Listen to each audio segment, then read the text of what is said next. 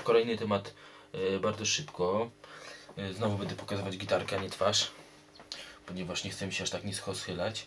E, temat to jest dbanie o gitarkę w warunkach domowych, czyli gdzie te gitarki trzymać. Dużo osób się mnie pyta właśnie, jak to zrobić. Czy może trzymać gitarę w garażu na przykład. Tak jakby mieszkali w garażu. Albo na przykład gdzie to może go trzymać, czy może w pokrowcu trzymać, czy, czy trzymać yy, na stojaku. Najważniejsze jest to, ponieważ gitara jest yy, instrumentem zbudowanym w większości z drewna, jak widać na załączonym obrazku. Najważniejsze jest to, żeby gitara nie była narażona na yy, duże zakresy wahań temperatury. Na przykład nie trzymamy gitary, broń Boże, koło piecyka. Ponieważ ta gitara po prostu, ona jest tam, cierpi, cierpi męki, po prostu ona może, może ją trafić szlak.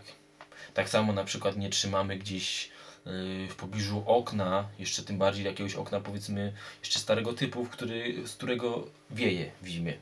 Tak samo w lecie, jeśli stoi w oknie i okno jest na przykład otwarte, słońce świeci, też nie, nie trzymajmy. Najlepiej, żeby było takie optymalne warunki właśnie, nawet można powiedzieć w szafie można to trzymać, jeśli ktoś, yy, ktoś chce lub, yy, lub yy, ma takie możliwości, chociaż jeśli to stoi w pokoju, gdzieś w cieniu, yy, wisi sobie na statywie, na, na wieszaku naściennym lub sobie stoi na statywie, to też jest ok. Tylko właśnie, żeby unikać jakichś takich dużych yy, wahań temperatur, no i też yy, dużych wilgotności.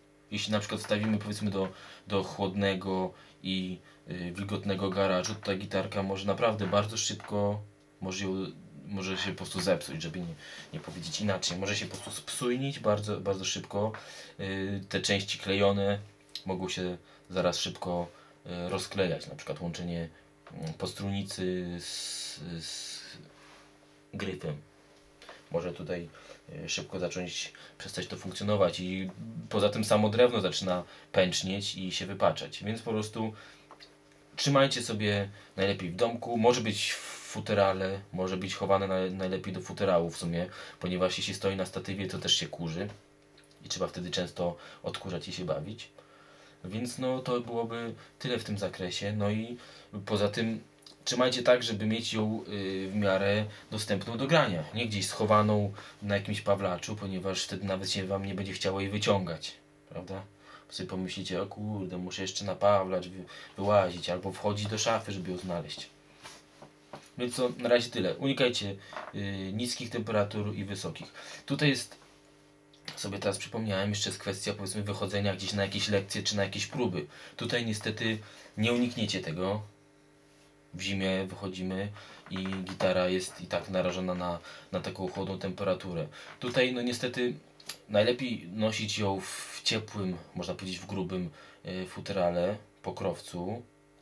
Najlepiej w ogóle na cały rok kupić taki pokrowiec. Nie, że na, na lato cienki, a na zimę y, gruby, tylko mieć jeden porządny, gruby z jakiejś pianki, może nie wiem, 20 mm lub sztywny case futerał.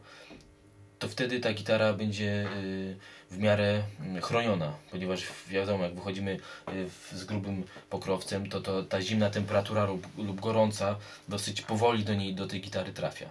A poza tym y, nie ma się też czego obawiać, żebyście nie wychodzili z założenia, że z gitarą nie wyjdę na zewnątrz, bo się szlak trafi gitarę i inne rzeczy. Wyjście samo z domu nie, nie narazi na, na jakiś szwank gitary, ponieważ to i tak powiedzmy, załóżmy jedziemy godzinę czy pół godziny, jesteśmy tam w, w cieple czy w zimnie, tej gitarze się nic nie stanie. Chodzi tutaj mm, o długą jakąś taką ekspozycję właśnie y, instrumentu na jakieś wysokie temperatury i niskie.